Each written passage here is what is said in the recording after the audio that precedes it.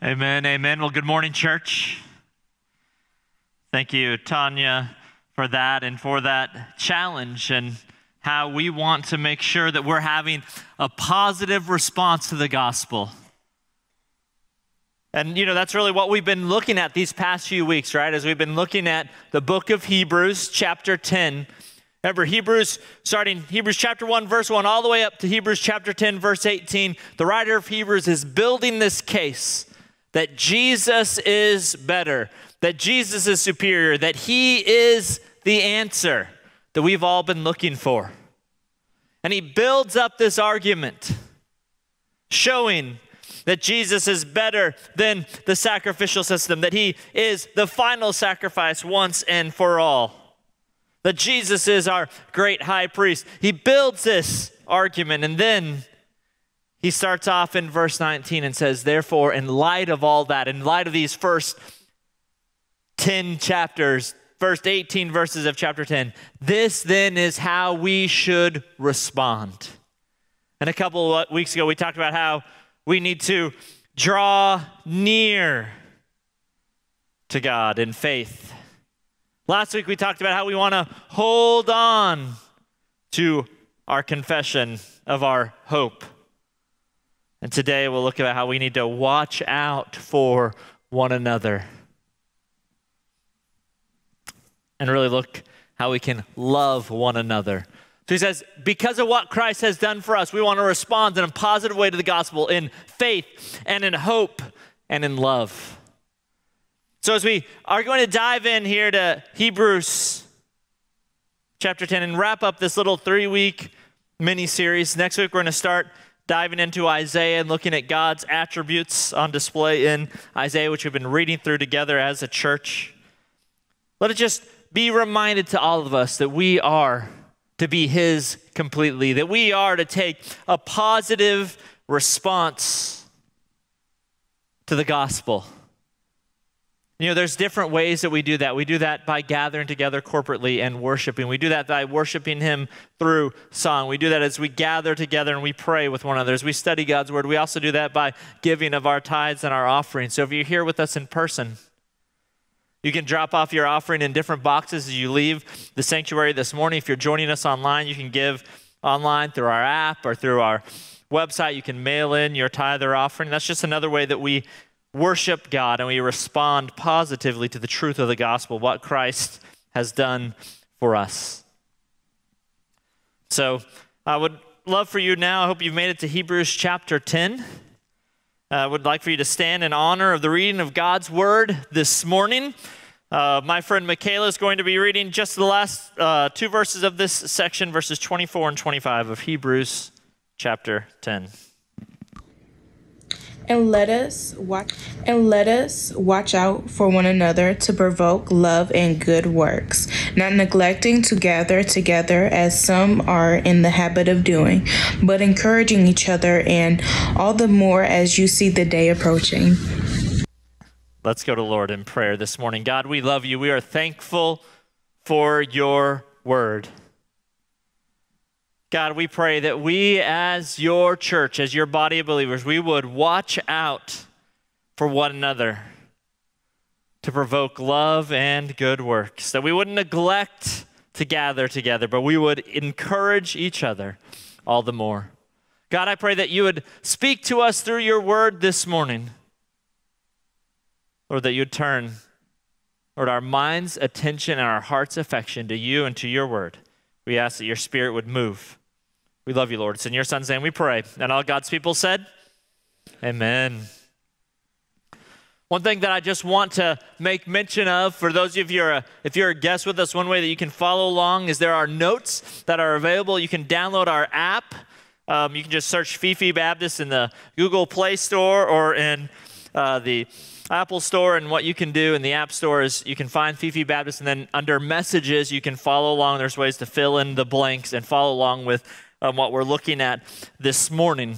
So I want to make mention of that. But it's really interesting. You heard Michaela read it. And again, this is the third thing. And, and because of what Jesus has done for us, what are we supposed to do? And it says that we are to watch out for one another to provoke love and good works. We need to take time to watch out. What does this mean to, to watch out for one another? It means that we, we pay attention and we look for ways to encourage each other, right? We look for ways to encourage each other. One thing that I've um, got to do this last year, since you know we have moved our Wednesday night prayer time, it's been online the last year, right? And so I've been volunteering and helping out uh, with our Awana program, our Awana Club, on Wednesday nights. And I've had the privilege and honestly, sometimes the challenge of working with our Sparkies, okay? That's kindergarten, first, and second grade. And I get uh, a few of those boys who get to come in and I work with them on their scriptures. And our boys are awesome. They also have, imagine, you know, the energy of five, six, seven year old boys, right? it's a lot. I always say if I could just bottle that up, right, and sell it, I would be a millionaire. I'd be Jeff Bezos and taken off into space, right? But with these boys, I'm always thinking, how can I encourage these boys? What can I do? Well, one thing that works with kids, and honestly, it works with with, with young boys, it works with old men too, right? Is provide food, okay? And so I'd, I would start just telling the boys, like, all right, hey, if, we, if you can work on this many verses this week, man, I might bring you some candy next week, right? So some would call it bribery. I call it intelligent, all right? It's proper motivation. But what's really interesting is um, one, of, one of my boys, Michael, um, man, we've been working on it. And so he got some candy. Well, he went and he told his mom about it, and they decided, and um, it was really nice, but he said he wanted to get something for me. Since I gave him some, you know, since I was giving them some candy. And so uh, he and his mom, if you all know, we all know what the true nectar of heaven is, right?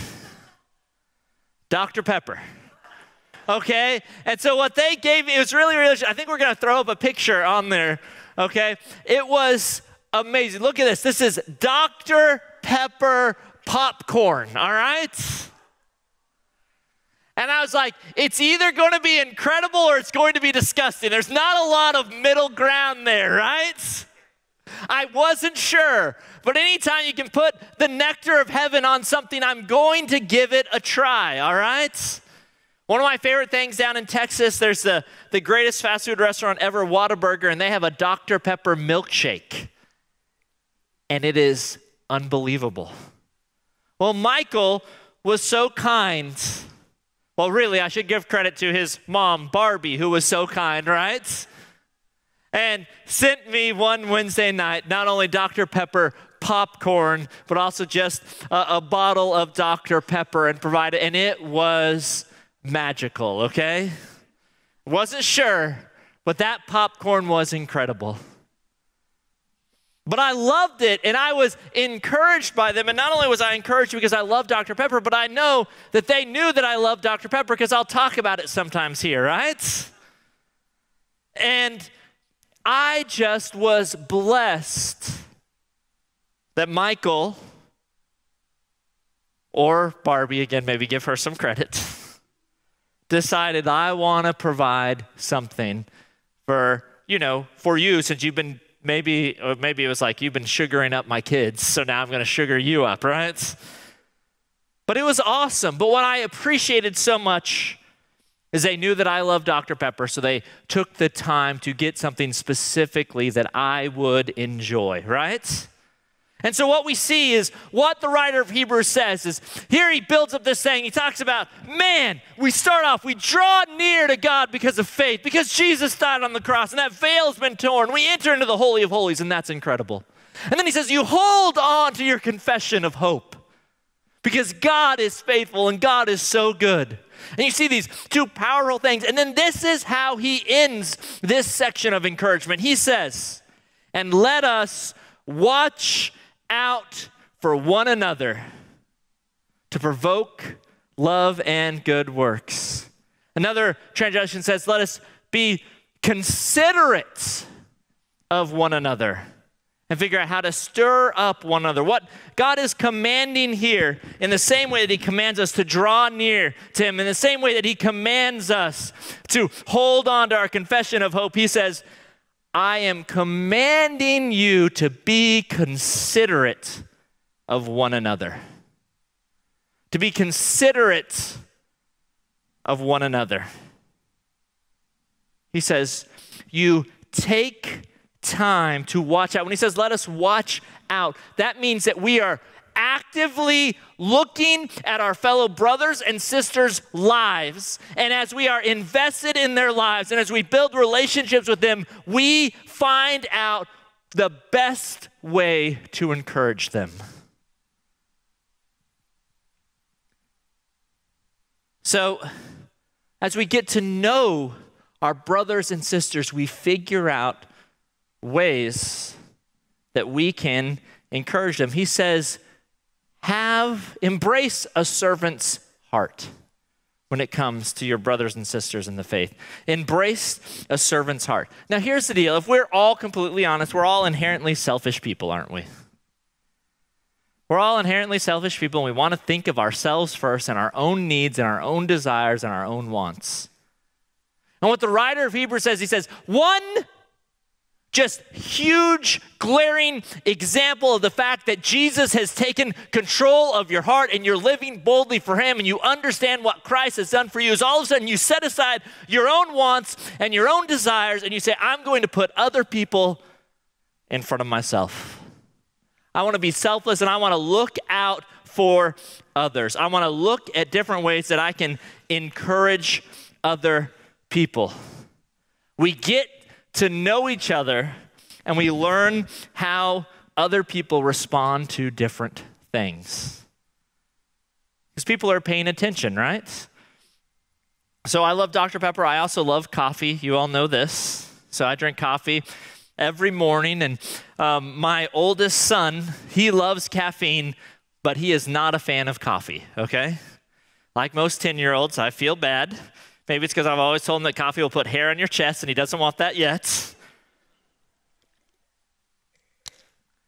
But what's been interesting is he's been coming up the last couple weeks, he's been helping run some different slides, and he noticed something. He noticed that Mr. Vance does not drink coffee in the morning. Do you know what Mr. Vance drinks? Mountain Dew. See, we know, right?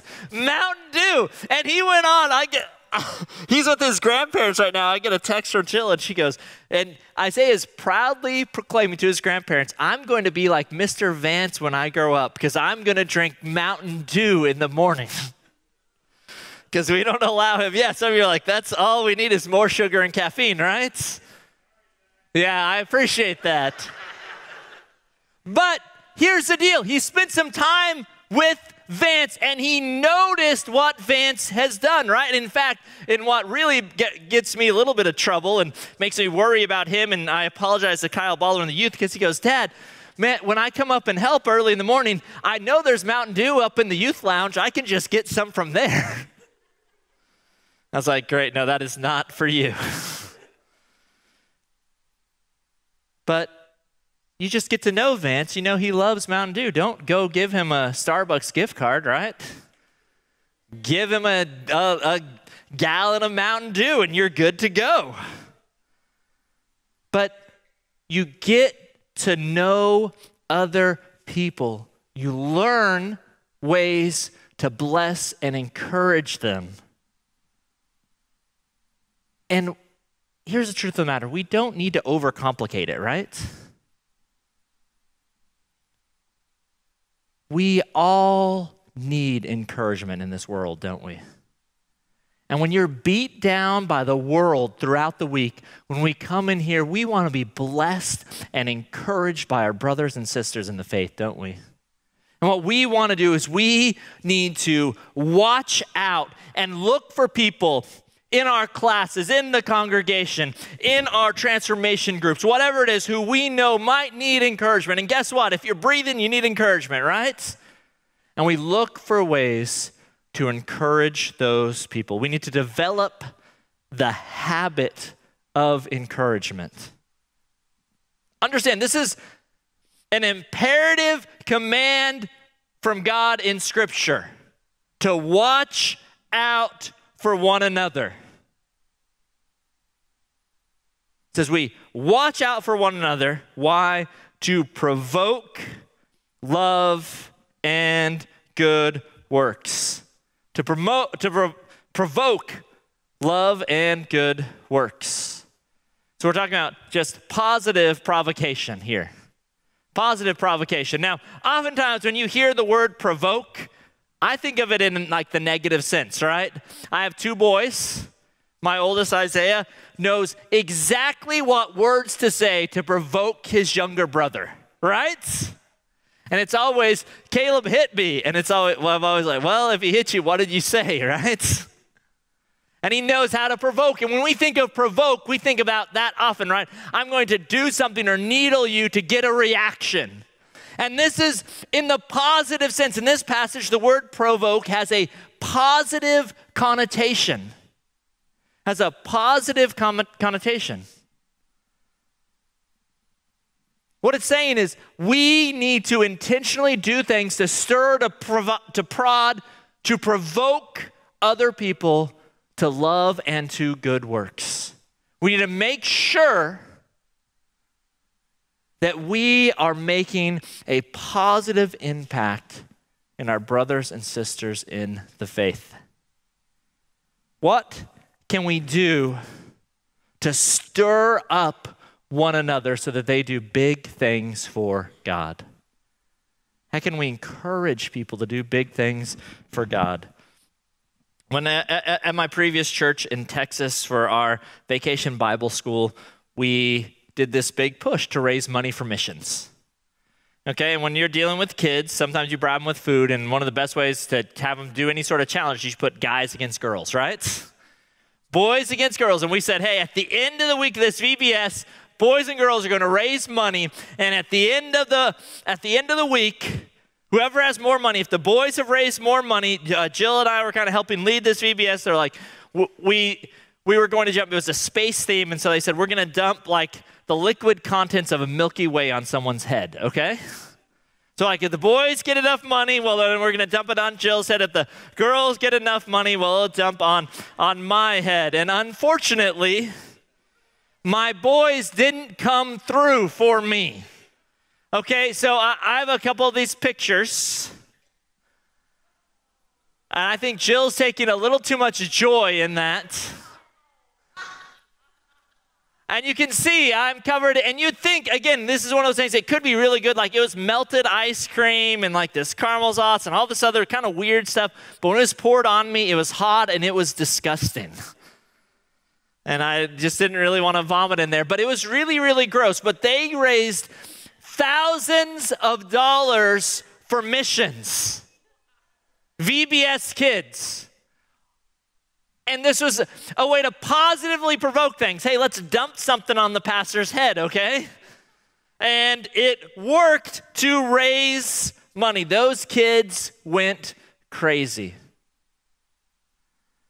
But I don't know if you know this, like, Luckily, we haven't had to do something like that to raise money for missions. But if you just, I don't know if you know this, in the midst of pandemic, everything like that, um, we look back and at least in the last seven years, you know that our giving to Annie Armstrong is the highest it's been in at least the last seven years.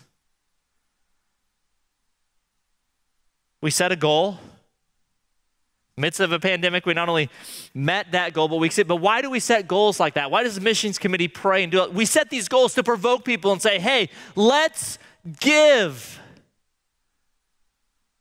so that North America can be reached. Or even the same thing with, with Lottie Moon. Let's give so that global missions can continue. Now, I don't know if you know this now. We just uh, found out one of the students who grew up in this church. If you all know Darcy Weber, just uh, got appointed. She's going to be a, uh, in the journeyman program through the IMB. She's going to go spend two years overseas serving the Lord. Just graduated college. I always tell people I'm a Southern Baptist for two reasons. Number one, because doctrinally we're sound, we stand firm on the Bible. Number two, I love the cooperative program. So what it means is that as we pool together money and resources, Darcy, instead of spending time traveling around trying to raise money so that she might be able to go overseas, the Southern Baptist Convention, through the International Mission Board, is going to support her for two years to go overseas and serve on mission for God. Aren't we so thankful for that? And that's us stirring up one another. We're, we're giving sacrificially to support missions, and so that the next generation, people like Darcy, might be willing to go overseas and take the gospel to the ends of the earth. We want to stir up one another to do big things for God. You know, not only that, but we need to make sure that we build one another up in word and in deed. You know, Ephesians 4:29 says that we shouldn't let any unwholesome talk come out of our mouths, right? But only that which is for building up one another. If you know that band Building 429, that's how they got the name of their band. Was from Ephesians 429. And so we need to build up each other in word. Build up each other in word. Be there to encourage one another. You know, it was really, really interesting. I was talking with with Kevin Kurtz yesterday, and he was sharing how he said the Chadwicks are like second parents to him. He said, Man, when I need encouragement these times, he said, It doesn't matter what time it is at night. He said, I can just call them. Doesn't matter the time. He says, And they'll pray for me. They're there for me. As, had, as he's had this incredible, difficult battle recovering from COVID and everything that's been going on with all of that you know, you need that type of encouragement, right? And to know I can call on someone in my church family at any time to get the prayer and to get the encouragement that I need. We need to build each other up in word. Look for someone and think, how can I pray for them. If you really want to bless someone in this church, just go up to them and say, How can I pray for you this next week? Build each other up in word, but also in deed. Build up each other in word and in deed. There's something about serving with fellow brothers and sisters in the faith. You know, I was a youth pastor for a lot of years, and it was always it was always funny to me because I'd have parents and they'd be like, I don't understand. My kid won't clean their room, and yet they're signing up to go on a Saturday morning to go with you and mow someone's lawn. You know what I mean? like, what's going on here? It doesn't seem to make sense. And I was like, well, it's really simple. They're not cleaning their room with their friends, right? But they're going with their friends and they're being encouraged and they're going and they're serving others selflessly. Like now they need to grow in maturity and realize they need to be obedient to their parents and mark of Christian maturity is them cleaning their rooms. But hey, it's all we're all works in progress, right? But it's so interesting to me how those students, as they got together, they had no problem going and doing things like that and going and selflessly serving. You know, we have a group of students leaving in just a couple of weeks to head up to Minneapolis, Minnesota to go and to do a, a mission trip this summer. Be praying for them. But why are they willing to give up a week of their summer to go and to serve? Well, I think it's because they're not doing ministry alone, right? And that's something for us. One simple way for us to encourage each other is don't do ministry alone. Don't do ministry alone. If you're going to do something, invite somebody along with you. Talk with them and say, hey, let's go and serve here together. Let's do something. Let's provoke one another to love and good works. To love and good works. Let's speak life to one another and let's do something together, right? Let's work on that, church. Let's serve with each other with a cheerful heart. And he says, not only do we watch out for one another to provoke love and good works, what else does he say? He says, not neglecting to gather together, as some are in the habit of doing, but encouraging each other, and all the more as you see the day approaching. So the last thing that the writer of Hebrews says is don't neglect gathering together. Don't neglect gathering together. Now, how many of you guys have heard of this guy, Aaron Rodgers? Have you heard of him? This quarterback? He won the MVP last year. Pretty important player for the Green Bay Packers. Well, they had their voluntary OTAs last month. It's just time for they get together and they work and they train. And Aaron Rodgers is mad at the team for, for a variety of reasons, all this other stuff.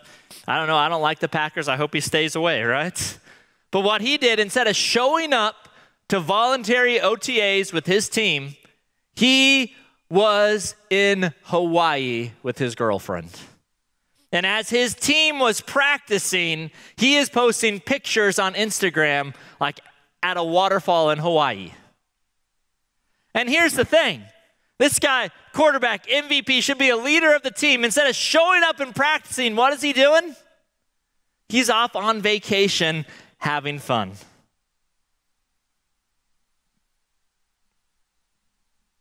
Look what it says. Don't neglect to gather together, but encourage each other. Aaron Rodgers can't be an encouragement to his team when he's not at practice, right? And he's sending a message. I don't need to be there. It's really interesting. As you look at the, the pandemic in this last year, and we know a lot of people were unable to worship for a lot of variety of valid reasons, health reasons, other things like that. But I also know at first, you know, when the pandemic hit, you know, the sale of Bibles went through the roof. Sale of Bibles went through the roof.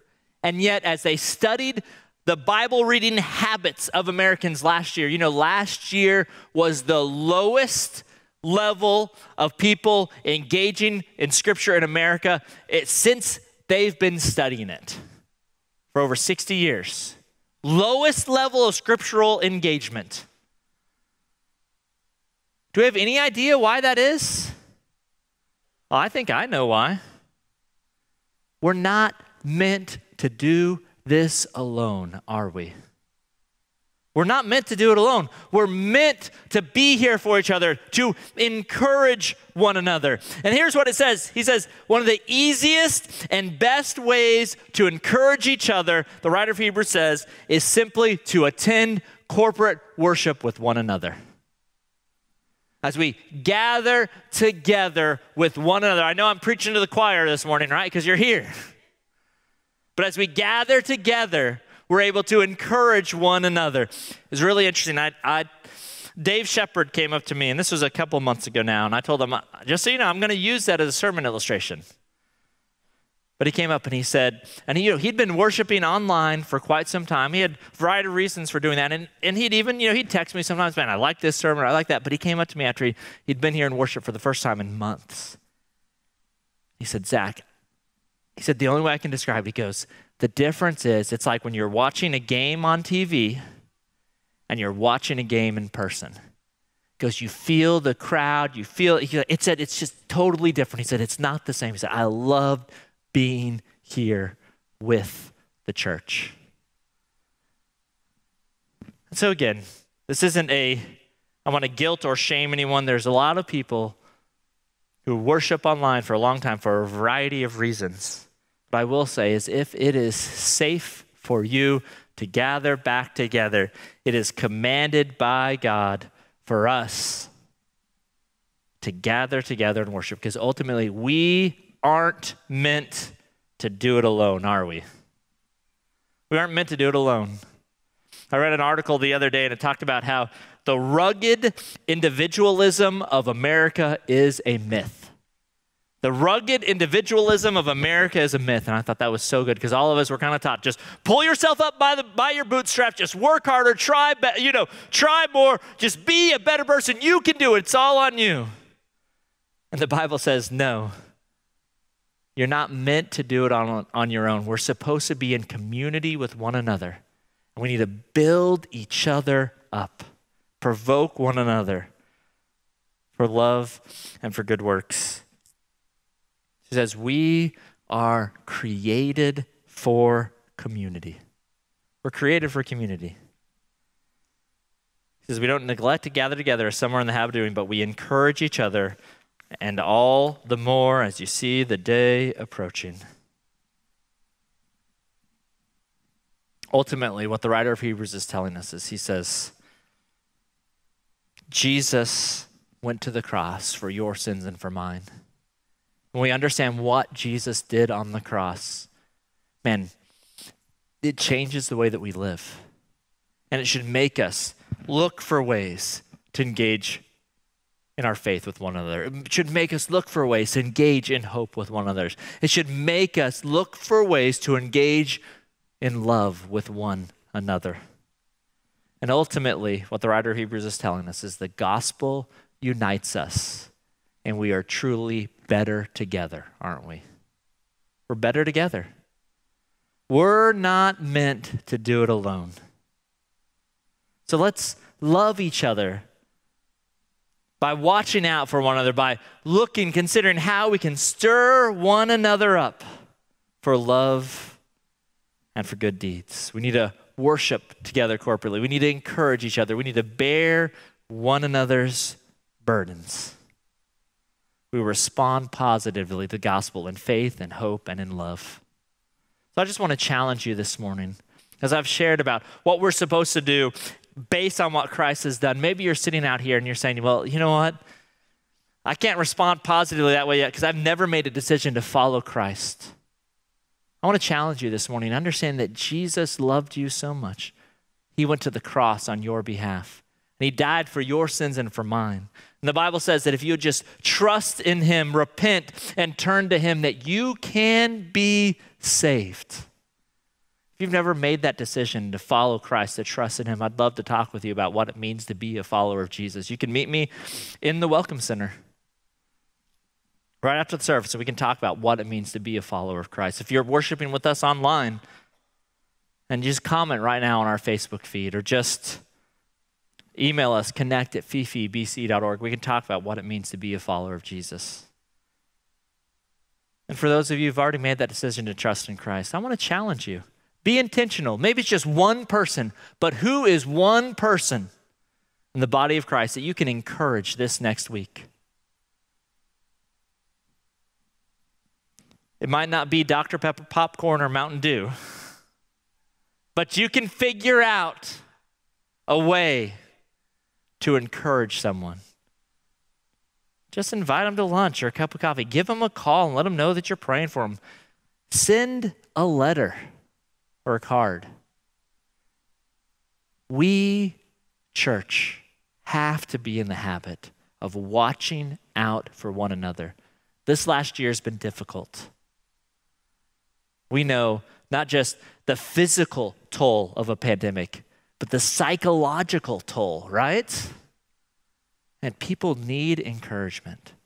So let's watch out for one another. Let's stir one another up. Let's provoke one another for love and good works. If you're going to go and do some act of service, don't do it alone. Invite someone from the body to come along with you. We truly are better together, church. We're better together. So let's unite. Let's stir up one another for love and good deeds. Let's draw near to God together. Let's hold on to that hope that we have, and let's be a shining light for Christ in a world, in a community that so desperately needs it. Let's go to the Lord in prayer this morning. God, we love you. We're so thankful for your word. God, I pray that we would be a church that is watching out for one another, that is stirring up, that is provoking one another to love and to good works. God, I pray even right now, you might place someone on our hearts that we know we need to encourage this next week. And God, I pray that you would use our church, or as we unite together as we are better together. And God, I pray right now, there's anyone in this room or anyone watching online that's never made that decision to trust in you. God, I pray that right now, God, your spirit would soften their heart or that you'd draw them to yourself. So we ask that you'd be with us now. We love you, Lord. It's in your son's name we pray. Amen. Amen. I want to thank each and every one of you for coming and worshiping with us this morning. I want to let you know if you're a visitor or guest for the first time, I'd love to meet you in our Welcome Center. We have a free gift that we like to give to each and every one of our visitors. We're so glad you're here to worship with us this morning. And let me challenge you if you want to talk about encouraging one another, head to a Bible study.